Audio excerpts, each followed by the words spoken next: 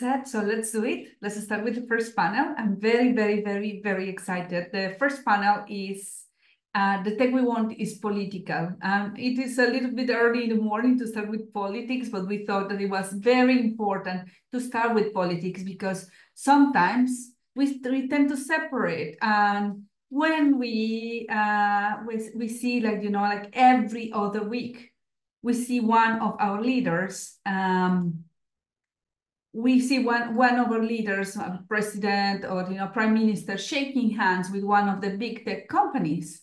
That that only sole fact should make us aware that when we are talking about technology, we are talking about politics. So welcome to the second session. Uh, my name is Renata Avila. For those who are just joining, I'm the CEO of, of the Open Knowledge Foundation, and I will be the moderator today.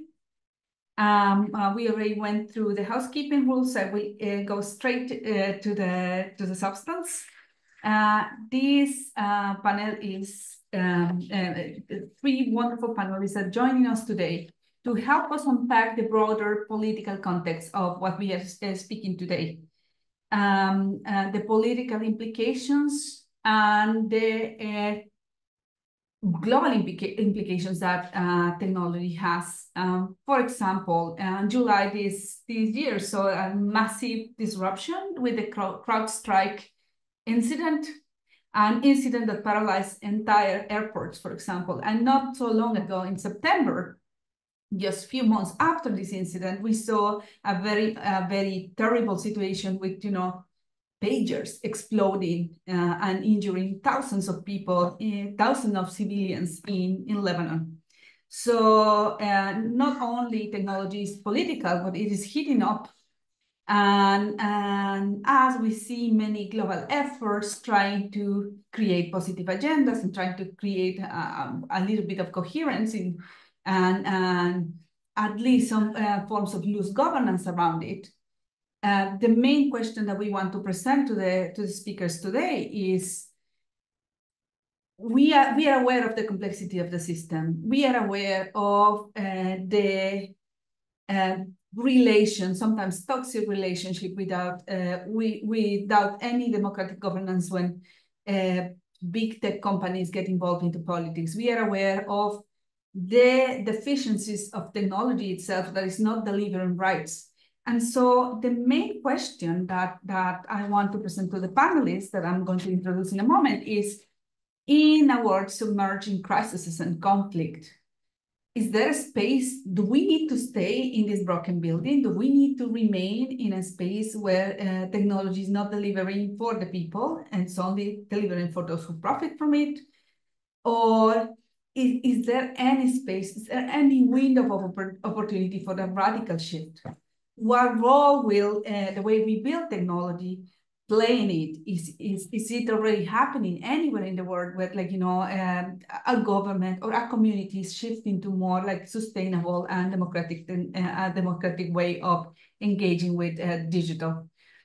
Uh, so we have today three star panelists. Uh, Anita Murthy from uh, IT, she is the director of IT for Change, but also she's one of the most prominent voices in the international spaces uh, um, advocating for a different, uh, a different, uh, more democratic uh, technology landscape. We have Bolaji Ayodeji, who's dealing every day with governments, trying to pursue the same goals to lead him, lead, uh, lead them to um, through the Digital Public Goods Alliance of uh, actually implemented technologies that respect rights and that are open and transparent and accountable.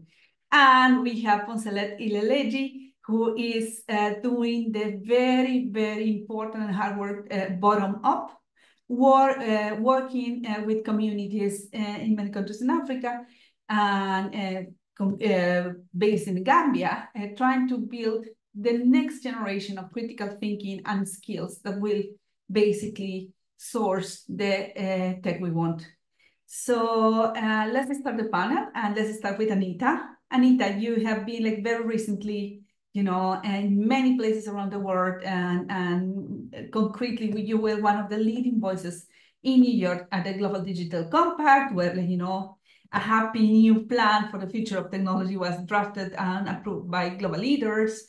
But are we signing off for staying in the same broken, build, broken building and just adding patches? Or do you see any political willingness to move out of that building and build the tech we want? Uh, thank you so much, Renata. What an honor to be part of this uh, entire event. Am I audible? Good. Um, I uh, really look forward to the archives and all the recordings. And also, I'm honored to share space with other co-panelists. Um, I want to say that uh, should I should I take about eight to ten minutes? How much time do I have? You have around that, yes, please. Yeah, all right, great. So um, let me just begin by saying that the tech we want, you know, politically speaking, uh, is actually uh, a new social paradigm. So we are looking at new social relations and we're really not uh, we are defocusing on the technology i think when we are asking about digital asking for or calling out to uh, the agenda of digital justice or digital solidarity um, or uh, people's digital sovereignty, we're actually saying we want a new sociality. So that I think is a starting point, and it's never too early in the morning, Renata, my friend, to make that point really. And um, uh, so how do we make this a reality? I think so. To make this a reality, uh, all of us have a few pet elevator pitches. So if you ask, uh, you know, somebody, they would say, uh, perhaps by starting to respect the environment, someone will say something else. But I think um, the the bottom line is that we need to forge a new relationship between the people's commons and the public institutions for which the state's state is responsible.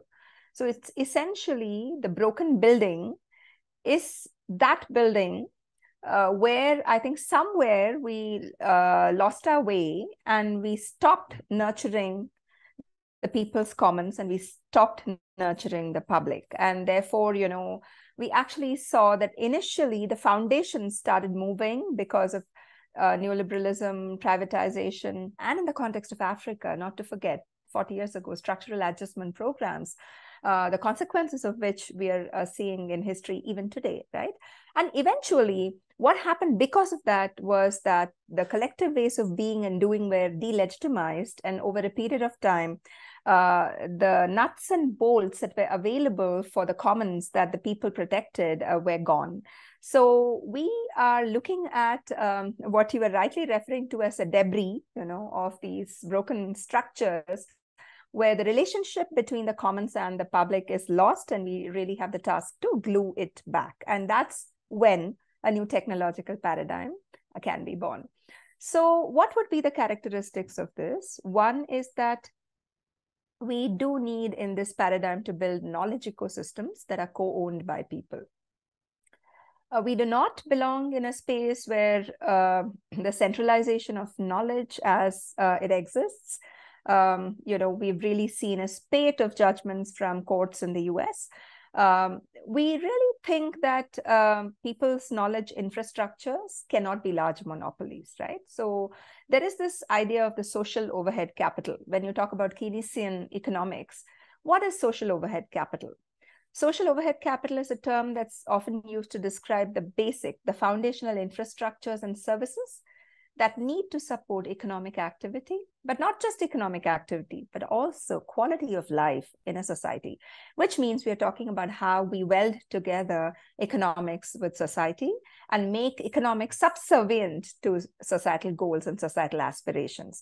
And this will call for a range of public investments because you simply cannot get the tech right without getting uh, the basics of the socioeconomic logics right. And this means that we really need utilities we need communication networks, we need um, uh, social care facilities, we need to completely underwrite um, uh, human resource development, make education a basic right in society, etc.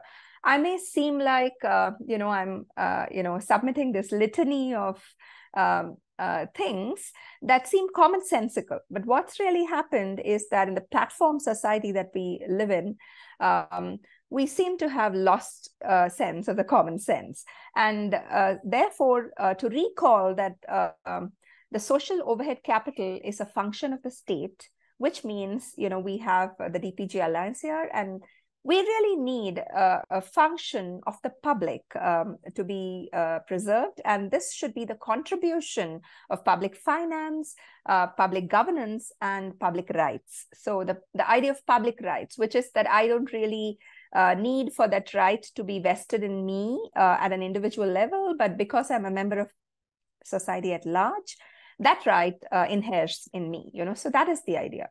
So the next uh, thing is that our pathways are very imperfect uh, to look for the alternatives, but they must be forged because politics is always contingent. It's it's relative to time and space, and often uh, we get paralyzed when we look at this, um, you know, big tech scenario, and we feel we can't begin anywhere. But I think that uh, to embrace ambiguity, to embrace imperfection, and try our experiments, and if we have time, I would like to come back in the next round to talk about a couple of experiments that um, my organization is undertaking at this point in time. Uh, but to conclude the conceptual uh, part, I really want to say that we need a rearticulation of our foundational rights. And what I find very, very interesting is that in the context of the Brazilian judicial system and its tensions with market monopolies like X, uh, we see that these tensions are navigable and they are being interpreted and reinterpreted thanks to the Marco Civil internet. So we really, I think, need to move uh, more and more towards uh, guarantees and foundational rights. And I am completely seized coming from the global south of the limits to formalizing rights. We need to do a lot more, uh, you know, on the ground. But I think that also recognizing that the regime of digital human rights requires us to re-articulate uh, existing rights is uh, really important. Um, finally, I really want to say that the market is a very key player changing and challenging democracy. And therefore, uh, I would say that uh, democracy, uh, development, and people's sovereignty need to be seen as one of a piece. And the technology we want is at one and the same time about economic democracy as it is about social democracy. So I will leave it there and come back and talk to you a little bit about the experiments that we've been engaged in. Thank you, Anita. It's very good that you you mentioned Marco Civil. I mean, 10, 10 years ago, I remember we were there, you know, we were in Brazil and it was a it was a big gain uh, for global civil society because uh, we made one of the largest countries in the world, one of the most powerful countries in the world, shift direction and embrace net neutrality and embrace privacy and embrace many rights that will, in spite of all the political changes, remain. Uh, and, um, and it was a very interesting um, situation because it was a um, big push internationally and big solidarity internationally for a national uh, process. Uh, so and Marco Civil wouldn't have uh, been passed by the government in place back then if it was not because of this international solidarity, but also a lot of bottom-up activities uh, from digital communities in Brazil. And uh, is this in the communities where, like, you know, many of the hopes um, remain. And, um, and I'm going to pass to uh, Poncelet, who's in, in the youngest continent today. Africa is the youngest continent today, where many of the hopes and many of the solutions of many of the problems uh, we have today uh, they are, are, there. Like many, many, many young people are connecting for the first time uh, and are like they're bringing new ideas and bringing new hopes to all of us. So Poncelet, tell us, uh, do you think that a radical change is possible? And what is like, you know, the vision from uh, your experience working with young, young people in Africa? Uh, and the political willingness of just stay the same or embrace change. Yeah, thank you very much, um, Renata and uh, Anita, for a good um, opening and remark. Um, I think um, what when we look at today, what is happening within the African continent, we are in a continent whereby we have only 37% of the population still on broadband and um, you look at a population of almost um, the same population of um, a continent of almost the same population of um, India and China, um, one 1.4 billion people approximately, of which 60% are young people, and the continent is getting younger and younger. And um, we, we take, for example, what happened during um, the COVID um, period um, when we had that um, pandemic that affected the whole world. Africa, though we had, um, there's no, um, one life is um, very important, not to talk of thousands dying. But within the overall um, context of what happened during the COVID, we were more affected as a continent in terms of socio-economic development. For example, Uganda, schools were not open for more than one year. And if we had digital technologies and we had um, access to the internet, in most parts of Africa, kids could have been able to go to school, you know, using um, online tools like it happened in other parts of the world. So we are we are now faced with this situation of yes, within this um, um, in, um, fourth revolution, of what are we going to do to guide us to get where we have to to get. The Summit of the Future came up with um, good recommendations. And I think um, I will reference one of those recommendations in um, the um, um, the Path to the Summit document under Action 27. We will seize the opportunities associated with new and emerging technologies and address the potential risk posed by their misuse. Under that agenda, we'll discover that a lot of things were addressed on, on, under that action 27. And I will I will start by emphasizing on C. C says enhance international cooperation and capacity building efforts. It's will order to enable us to bridge the digital divide among states. You know, so uh, and when when we look at that, um, our purpose for me in a radical shift of how things are being done is how we are going to address from bottom to top, dealing with bridging this digital divide using solutions like setting up community networks, using satellite. A lot of people might not like the approach sometimes of Elon Musk, but the reality, as in a meeting he had with William Ruto, the president of Kenya, during the um, um, Summit of the Future, was that, as William Ruto said, um, it will make Starlink coming to Kenya will make our ISPs and telecos step up in providing services they have to do. So despite we have our telcos fighting Starlink in different parts of Africa not to come, whereas they have not been able to deliver solutions that will alleviate those at the bottom of the ladder. And majority are youth to be able to use technologies to benefit their communities. So we need solutions, radical solutions like that. Getting Starlink, getting other, the EU, they have a satellite program that can help our governments to get connect, um, um, connected to, um, in terms of offering better e-government services like we see in Rwanda. So we have to be able to do this within an international um, cooperation modus operandi, whereby it is fair. And for it to be fair, there has to be openness of the data we use. And that is where I am more concerned about that within our continent, we have our Malabo Convention on Cybersecurity and Personal Data Protection. Less than 20 African countries have, have rectified and signed that convention. But most of the African countries, we are very GDP compliant, but within our own framework, we are not ready to be compliant. So how are we going to address digital um, inclusion, also preserving our um, digital sovereignty within an open framework? There are a lot of documents already existing in the continent that can guide us to do this. Apart from what our African leaders decided in, in 2013, the African Union came up with Agenda 2063. Agenda 2063, it will be 100 years when the African Union was formed. And by that time, a lot of things are supposed to be achieved. Within that Agenda 2063, also, a document came out in 2020, the African Union Digital Transformation Strategy 2020 to 2030.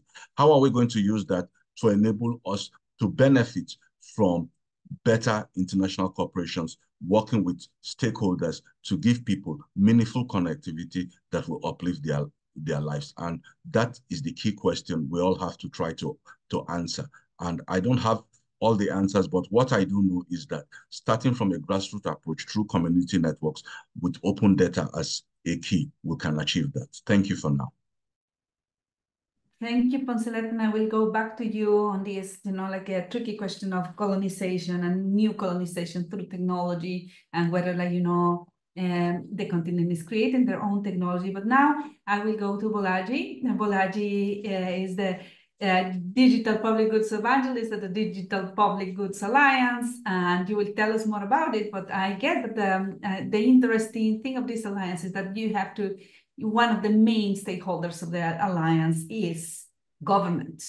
And I guess that is something that we are going to uh, discuss through the day is that um, governments have different, like, you know, pressure and needs and, and community-led projects and or citizen uh, initiatives. They want solutions now, they want solutions fast, and they, they want, uh, they, um, there's very low, uh, in my experience, you know, very low um, space uh, tolerance from citizens when the government deploys a, a solution, digital solution, it must work, and it must work fine for everybody. So from your experience, is, is, is there a political willingness of governments to try and test technologies that are not the mainstream te technologies? What is the case to be made when you're dealing with the governments to adopt technologies that are, you know, like more rice preserving, more like smaller projects and not just coming from the big tech corporations? But to you, Bolaji. Thank you very much, um, Renata, and thanks, Anita and Poncelet, for the wonderful comments you've made so far. First, um, I'm glad this conversation is happening. I mean, we have like hundreds of people here today talking and conversing about this, which shows we do care about the tech we want. We all taking times out from our busy schedules.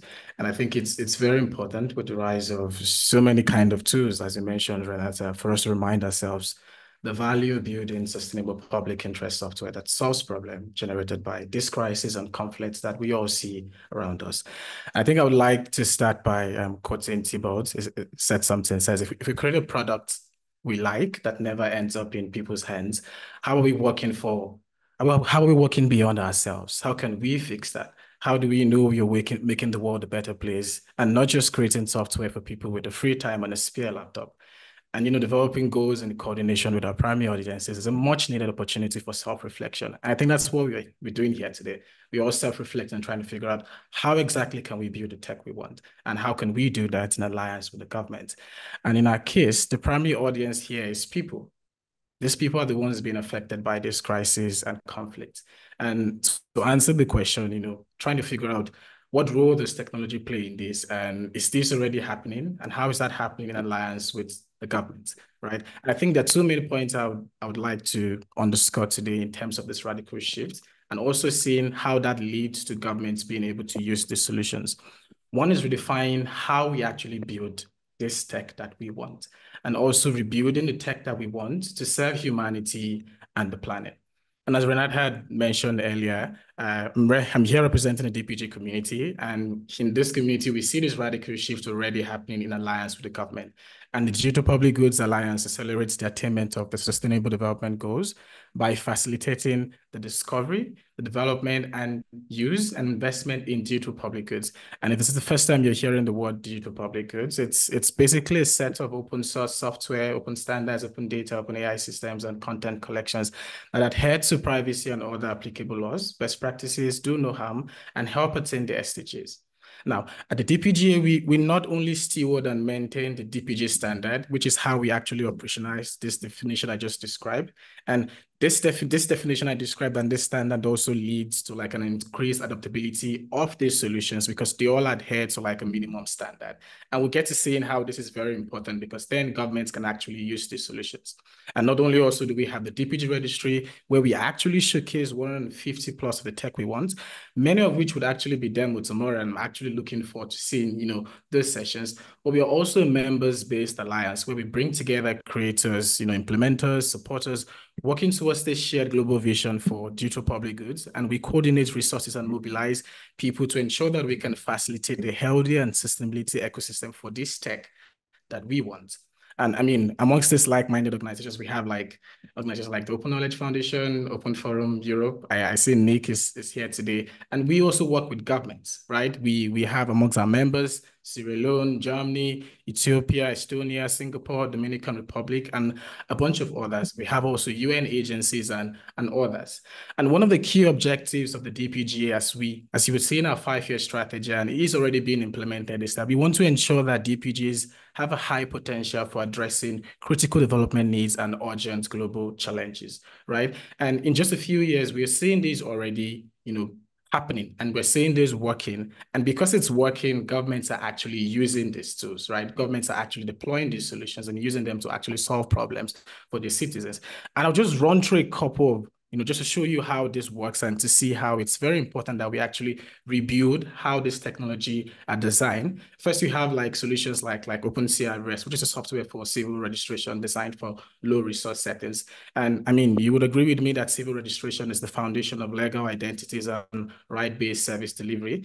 And you have what you call a civil registration and vital statistics system, which records all major live events like births, deaths, marriage, and all of that. And without this working effectively in many countries, it's almost impossible for governments to actually do anything. And in many countries, you find today CRVS systems are broken. Like one in four children under the age of five actually have not been registered and technically don't exist. And without them existing, they're really struggling to access like basic rights like education, healthcare, and, and a couple of others. And you also find issues with like debts not being recorded. Without that, governments cannot actually design effective public health policies to measure their impact. And many of these issues are being increasingly solved because governments are now able to use these solutions like Open CRVS. I mean, we have like examples also like Ushahidi, which is like a crowdsourcing mapping tool. And for example, last year in September, we had like Storm Daniel, which like hits like Greece, Bulgaria, Turkey, and Libya. And it was one of the largest and discovery um, destructive cyclone we had. And the impact of this cyclone brought together like-minded volunteers to actually facilitate disaster recovery right? And you see that in crises like floods, communities actually feel helpless and, def and defeated, right? But these technologies actually provide ways for people to actually work together to report near-time events in real time. And then you know you have more solutions in the health space, and you know you have these solutions coming together to connect together. And the key thing is that all these solutions are designed in ways that are different from all the libraries we NPM or PIP install. I'm a software engineer. I've been involved in the process of also building this same software, right? And I see how these things work and it's a recurring um, concern. I think Patricio mentioned that earlier in the introduction that we see this happen over time and we're all talking about many of these things. And we want to now talk about how exactly can we make this work? And it's key that this would not work if we do not work with the government. And for us to work with the government, we actually have to build these things with certain standards that make them interoperable and adoptable across multiple countries, right? And this is the part that makes DPG different from, you know, proprietary softwares and even your typical open source projects. Because in order for us to disrupt correct patterns, people need access to solutions they can adapt to their unique contextual needs. And this is a problem you find in many countries. The needs are quite different, right? And we have these public goods being designed to work work in different settings, taking into consideration the geographical differences where they'll be used, you know, um, um, the previous speaker just spoke a little bit about the context of how these issues are in Africa and in some countries, and they're designed to be interoperable, right? So that other solutions can also exchange data, extending the value of these systems. The systems are designed to follow, you know, open standards, best practices. They're designed to anticipate, to prevent and do no harm by design. They protect their users. They're designed to ensure the privacy and security and integrity of PII data, you know, and more importantly, these solutions end up becoming part of countries' digital public infrastructure, right? And we've seen this happen over time. And so the DPG standard, for example, shapes how technology is built, we are ensuring that developers now are able to build the tech we want by offering them an opportunity to assess how their solutions are built, ensuring it is open, it is platform independent, and it adheres to privacy and applicable laws. And with this, we are now rebuilding that tech to serve humanity. And governments are also being able to actually work with us, being able to use these solutions because it's no longer a case of, hey, let's do this, let's let's solve this problem. There are many problems, but we're saying, hey, there are problems here are solutions. We've done some stuff. This is how we can scale them. This is how we can use them. And this is how we're seeing this evolve over time. And the DPGs offer like a unique value in that sense. And I'm really keen to seeing much more of how this would grow. And we're seeing that grow in the ecosystem and seeing how the governments are also being more willing to, you know, adopt these DPGs in their DPIs and also support these DPGs.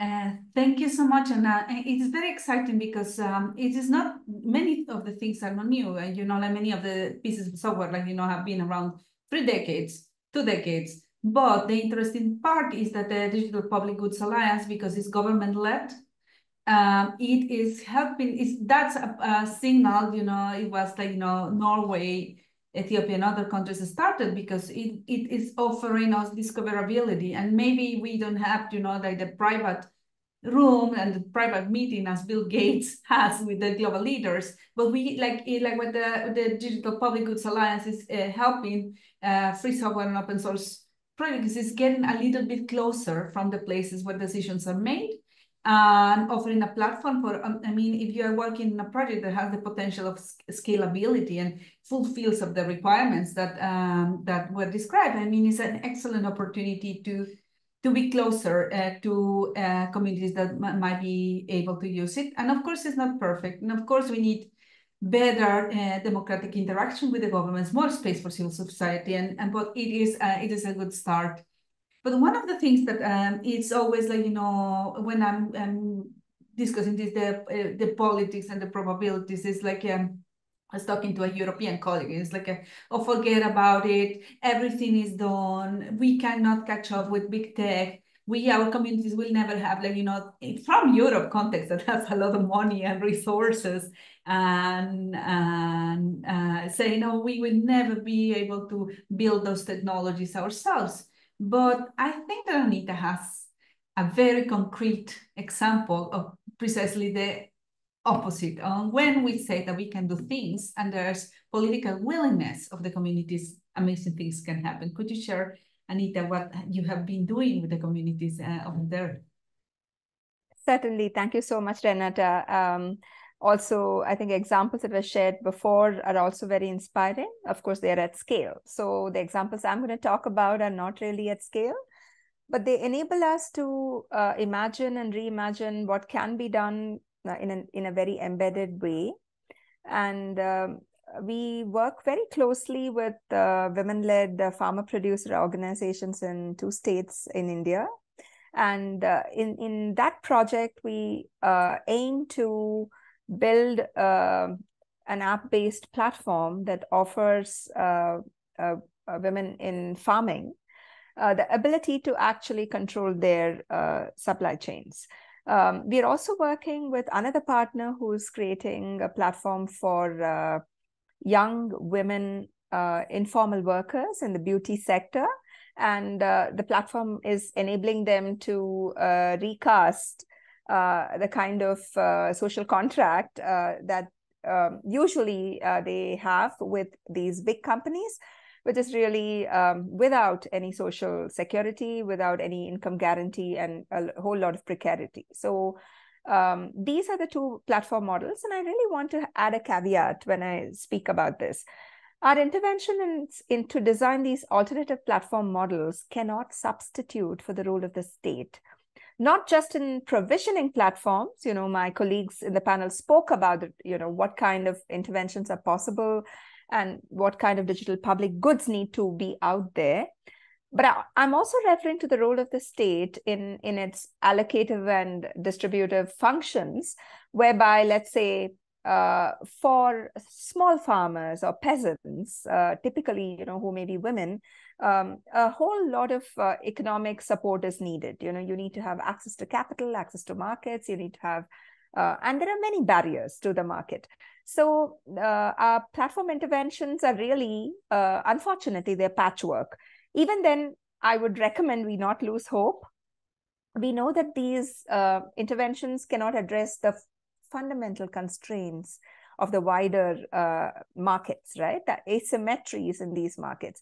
But what they do is they do two things. One is they provide the solidarization base, the solidarity and the solidarization base, right? You bring um, isolated workers, you know, working for a kind of an urban service company, you bring them together, you enable them to interrogate um, whether they should be penalized because the woman wanted to go back home since it was getting late and she needed to go back and fix a meal for her children. So if you are typically locked up to a commercial platform, the platform will demote you, right? It'll say, oh, you, you refused two of my orders.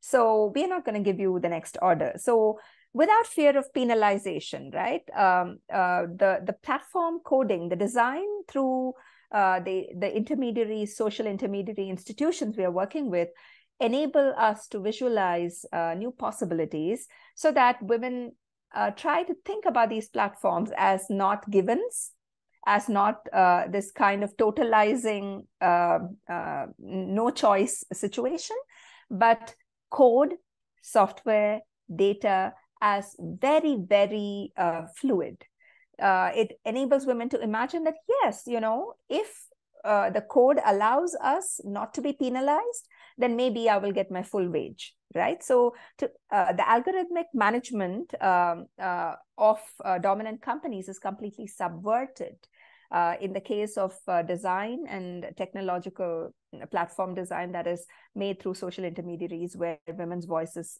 can be programmed in. So this is one example. And in the case of um, the rural women, I really want to say that uh, they operate in very low trust environments. You know, oftentimes um, uh, there's a lot of you know being integrated into this mobile world means there are lots of fraudsters. Oftentimes, people are taking money away from you, and you know we are one of the countries where uh, online fraud is highest. You know, so. Uh, what happens is when you introduce a trusted system which is managed by people you can go to which are frontline workers uh, women farmers any you know are able to build a relationship of trust with the technology. They're able to appreciate what that platform is doing for their value chain for their uh, value generation etc uh, i just want to conclude by saying that we're also engaged in building public ai with the government of kerala. And the entire process is to uh, look at language learning and how teachers can be enabled to perform assessments of uh, students through uh, oral uh, language expression. You know, we are locked in, I think, unfortunately, into um, a pedagogic system that uh, over valorizes writing, uh, whereas many of our cultures are actually hugely oral, right? You would all agree with me. And so, what this does is it's a very, very elementary but very elegant technology. Again, uh, turning all our assumptions about sophistication on its head and uh, this is another experiment where we are enabling the school system not to really uh, rate the child, but to enable the teacher to assess what the child needs in the classroom in terms of language learning. So, I mean, we don't have enough time, so I won't be able to elaborate this. But I also want to say that there are other, uh, you know, uh, islands of hope in India, and uh, one of them is also the intervention by the Kerala Food Platform. It's a backbone platform for aggregation of farming produce that the government is providing.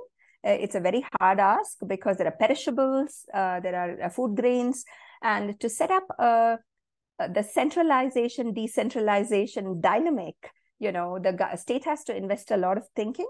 But the fact that we're beginning to think about platforms for development, data for development, AI for development in a way that really looks at a distributed uh, ecology of technology which can come together through some kind of minimal orchestration with values and principles is very encouraging. I just wanted to uh, share these experiments with you. Thank you, Anita, and, uh, and it give, gives us hope. You know, uh, people we we are technophilic organization. You know, like uh, we are not like okay, let's go like you know back to offline and back to disconnect, but the, the power of collaboration and organization when you embed values in the code. And when you have a state that will, you know, like uh, enable you to have alternatives rather than crushing the alternatives.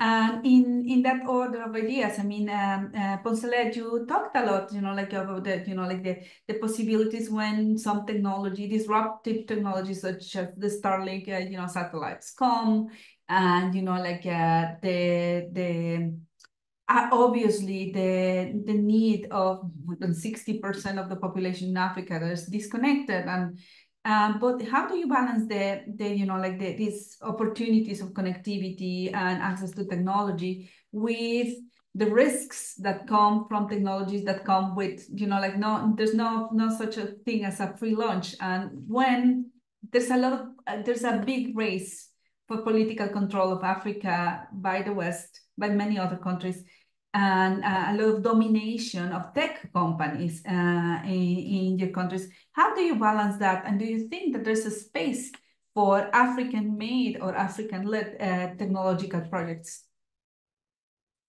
um, to counter? Uh, yeah, yeah. Thank you very much. I think um, if we look at our continent to be very like there's a big scramble now about uh, you know whether it's the West, whether it's China, whether it's India everybody looking at um, Africa for us as the, um, the next um, um, generation of tiger economies, if we are to take examples from what happened in Asia. But the bottom line is that we have to fix certain things within our own um, strategies, um, looking at it from what the African Union is trying to do. I'll take a good example of emerging technologies, for example.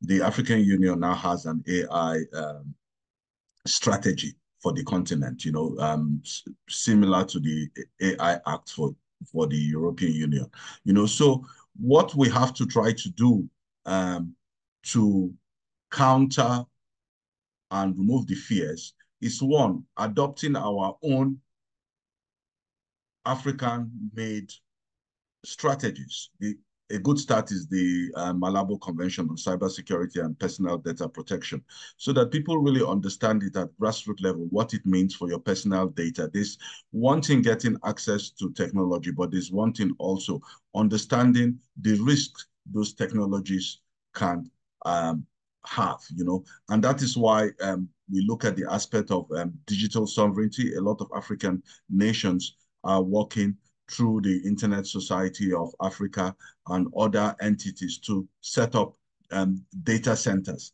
that they can manage and, um, and control their own data in country. Because there's this fear about what are the data being used, you know, are data being harvested from the continents for other purposes and stuff like that.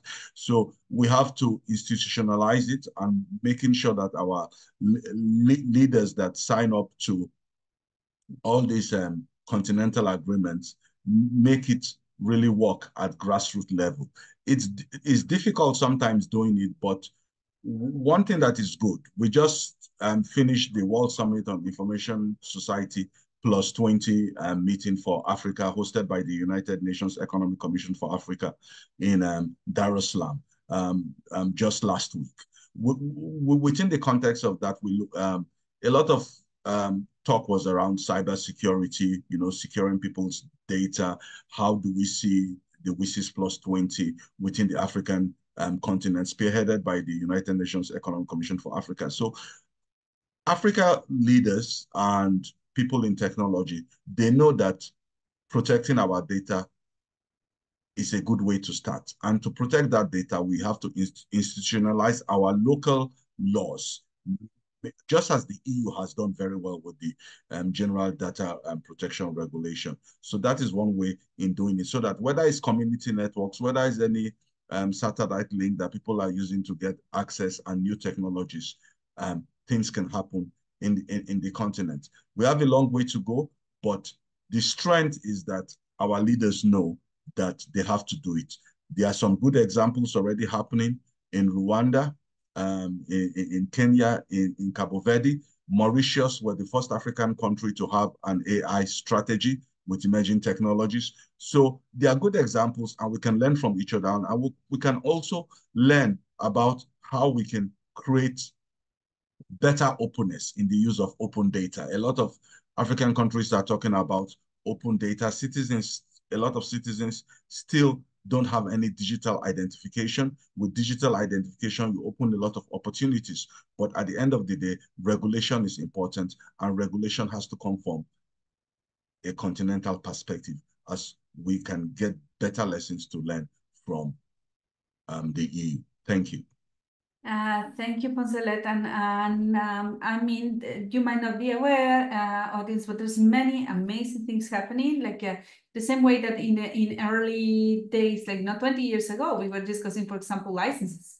Now African uh, lawyers are crafting their own licenses, open licenses to share uh, AI commons, uh, voice and AI commons on, on other imagery uh, with new innovative licenses that are like, you know, going to shake up the open license licensing world very soon. There's also a lot of innovation in drones technology for uh, development purposes. That all the innovation is coming from Africa. The, the most innovative uses and community-wise, I think that the level of awareness of um, uh, workers is is also taking off, and it's it's going to bring a, a lot of interesting um, conversations that we can learn from a lot in, in other countries.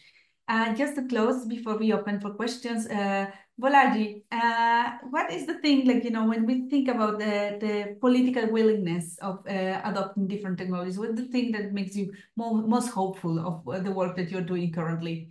And it doesn't have to be like limited to Africa. You can just share your broad experience uh, working as an African in this global uh, uh, community. Yeah, Thank you very much, Renata.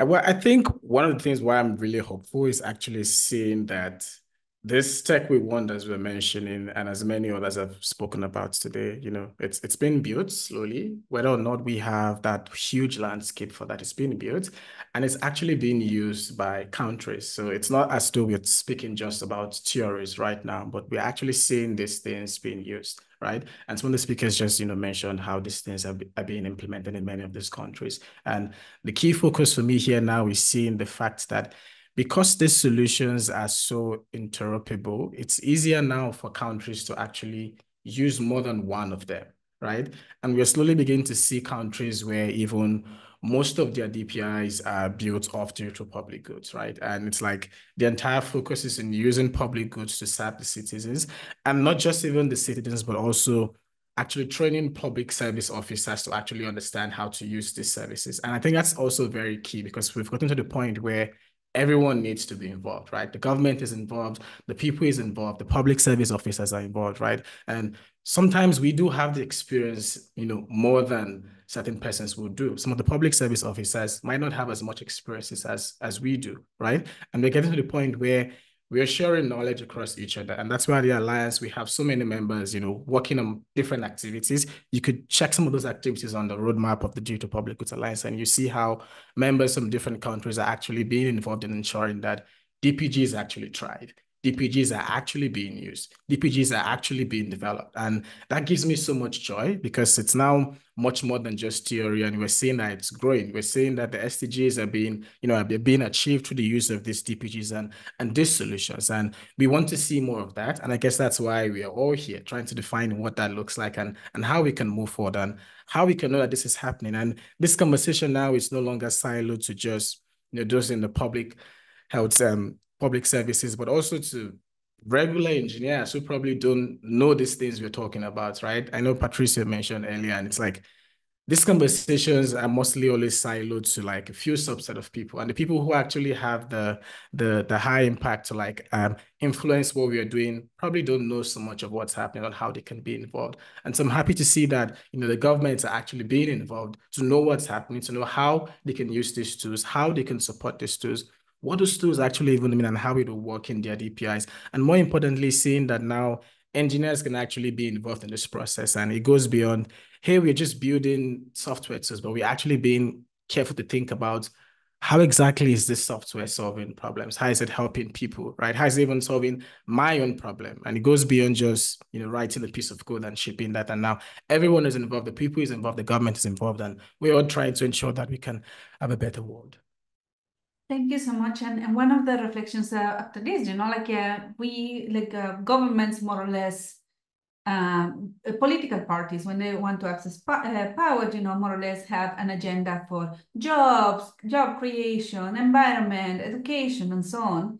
And the technology is always, you know, these flashy solutions on uh, relying uh, heavily on big tech. I think there is time that also some movement, as the open movement, also push uh, any political party across the spectrum of uh, different political positions of have an answer to us and have an opening to uh, uh, to technology that is sustainable and that it is open, that is transparent, and so on. So hopefully, you know, like we can issue, a like, you know, five point, uh, five point um, recommendations to all political pa pa parties globally. So to shift us to shift the political support. Um, uh, we have um, been aware of time. We have like some time for some questions from the audience. If uh, you have a question, please you can react, raise your hand, and then open your camera and ask any question to the panelists. Uh, please uh, uh, make sure that you introduce yourself. And uh, okay, uh, let's see how many. I'm just trying to see all the attendees. Okay, uh, we have a question from Stephen. Please open your camera and ask the question. Be brief and and indicate to whom you're asking the question. hi. Um, thanks to all the speakers so far. It's been fantastic. Uh, it's late for me, so I have to ask a question quickly or I might not be here all night. Um, uh, so I'm Stephen. I'm, i work with us with CKAN, which is a digital public good. Um, it, just in response to some of the sessions and some of the mo uh, moments sort of talks about digital public goods, um, Digital Public Goods Alliance. Uh, there's a strong sentiment that as intermediaries, um, folks who work with civic tech, um, there is a big conversation to have about you know what's the best solution, what's a good solution, what's a proper solution for implementing uh, civic oriented solutions for citizens and governments. But there is a supply side to that technology. Mentioning something like you know Starlink, there's the satellites, there's a whole bunch of like really big infrastructure investments that do uh, are part of technology, right? It's not just the software or the implementations. So some of that cost is quite large. Um, there's also really successful markets that do do this well. So the social and economic capital in areas like financial technology or health technology, um, there's a lot more valence, I guess, that like the ecosystem is more connected and sort of like in, balance between the social capital and the um, economic capital that's generated in those sort of markets. So in the civic tech which is what I presume we're kind of focused more in um, in this sort of call. Um, what would be the, biggest sort of like inefficiencies or, you know, areas to actually focus on? Because my, from my perspective, it's usually demand. So demand for open data, for example, really drives in government um, the supply of open data. That used to be a supply-led activity, and it was started that way. But you kind of need both the demand for data from citizens, the supply of data from governments and all of the uh, legislative acts and things like that. Um, and then in the middle, the intermediaries can do a really good job. But yeah, that that's that's kind of like a successful sort of situation. But in the case of DPGs more generally in civic tech, what is it that we're fighting for? What is it we're trying to fix apart from you know all, all the normal big stuff? Okay, I will let Bolaji answer that one, and, and I guess that Anita also wants to intervene. Uh, if you want to say something also, let me know. Okay, Bolaji, over to you. Uh, thank you very much for asking that, um, Stephen. I think it, it lies more on the last words you say, which is like, what exactly are we trying to do then with this digital public goods, right? And if you observe, you see that in the DPG standard, for example, we have this, you know, this indicators, right? And those indicators actually cover the entire goal of trying to ensure that we have these solutions that are designed in a certain kind of way. As you mentioned, when the demand is there, right, the supply comes in, right? And demand would only come to a certain kind of software, kinds of, you know, open data, kind of product are built with certain, you know, certain standards, certain best practices. The demand is not coming for, let's say, um, proprietary software alone or coming to some certain kind of project. Demand is coming to a unique kind of tech that we want. And because now this standard is actually being implemented on DPGs like CKAN, for example, we now can actually supply that demand, right? We have solutions that actually meet demands that the governments, you know, have. And because we now have the demand, we now can actually supply. Now we're having a scenario where governments actually know where to come to, you know, they know who to talk to, they know what to actually place their focus on in that sense, in terms of, you know, how do we use this stuff? How do we support this stuff? How do we invest in this stuff, which we're seeing happening like in many countries in that sense. So I would say that the digital public goods it's like it's a it's a unique position because like we, you're disrupting the pattern of how this thing should exist and it makes it easier for us to actually have these conversations because we're starting from like a baseline where i understand when i say i'm talking about the digital public could you agree with me? It's the same base minimum standard. So we can now talk about how can we use all of them as opposed to where in a scenario where it's like i'm not so sure what this is built with. I'm not so sure how this was built. How do i trust this system? You know countries are very concerned about how the systems are matured, how how they are usable, and all of that stuff. But because this is a base standard, it's easier for us to have this conversation and move forward to how do we scale, how do we implement. Now we know that this is like it checks all the the boxes. Now let's try use them. You know, so I think that's kind of like thinking around many of this, and I think I would let um, Anita. Yeah, thank you, thank you, Anita, and then we will go to Sergio who has a question. Yes, mine is a, a, small point, but I think it's important. I think what's documented also is that uh, we do need to uh, look at the way in which um, these public goods or civic tech uh, can contribute to public value. Uh, what I mean is that the leeching away of public benefit and public value because uh, some of these are taken in uh, put into proprietary ecosystems, which then locks up uh, part of uh, what they were originally not intended to do. You know, I think that's a real risk. And I would say that this has been documented more recently. Just a month ago, I uh, saw an assessment, you know, the, done by uh, one of these uh, big fives, you know, consulting companies. in Africa, as to which are those two, three companies which are actually picking up from the DPGs and uh, enjoying contracts with big governments. So I think that uh, the commons are always at risk of free riding and foul dealing. And I think it's uh, phenomenally important for us uh, to take care of uh, that. And it, it, it's, I think, a profoundly important question. We need guardrails. Um, I would also say that uh, the global public goods um, kind of idea needs a little bit more thinking about who will contribute to the public goods, who will benefit from this, what are the regimes uh, that will intervene, so that we don't make interoperability this god um, with an order that can never be challenged. Thank you so much, Anita. And just to close uh, quickly, Sergio Santamarina, could you make your question and we, and then speakers just one minute to respond because the other panel is already here. Yeah, I just wanted to ask if it's possible to talk about the public digital public good or any public good without taxation. You know, I remember in the Porto Alegre in 2001 when we have this uh, meeting, uh, social forum, uh, World Social Forum. We we we talk about taxation, the the global taxation, in order to build uh, and protect common goods. Uh, and that conversation is out of the picture now. And the the disparity and the, and, and the and the way the, the the tech companies are are growing and and we just depend on charity from them. Uh, and and and we cannot uh, have governance from part of the states because they are smaller in comparison with the big tech companies. So without taxation, there is no possibility for digital common goods or even uh, ecological common goods because everything is uh, first profit, then whatever is left out, uh, we can play with.